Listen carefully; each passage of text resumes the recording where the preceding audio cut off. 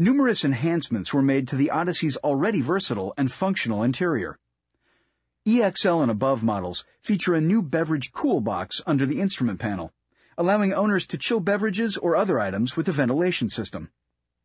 This is great for long road trips, as the cool box will help keep drinks or food items chilled longer.